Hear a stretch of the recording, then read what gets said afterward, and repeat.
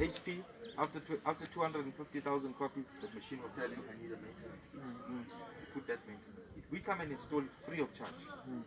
Understand what you're going to pay for is the machine, the toner, the staple cartridge, the ones that have staple cartridges, okay, ne?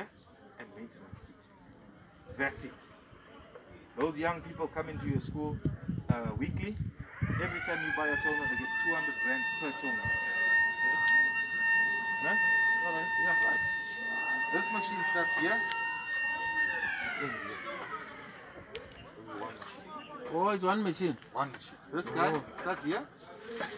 Ends here. Oh, that's the finisher. Yeah. This is the difference, right? This one here prints at 56 pages a minute. Okay. Right? One toner on here will do 40,000 copies.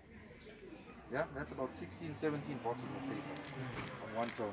We have a machine in my TV start like this here. They ran the entire exam. Mm. 1,700 learners using this guy. One toner. Did more than 65,000 copies. And they're still going. Yeah. You load 4,600 pages in there. Up here you got the USB wireless printing as well. Okay. In terms of, of, of stapling, you've got five different options. Two on your left, two on your right, two on the top, one on one one top, right corner, top left. Five different options for stapling.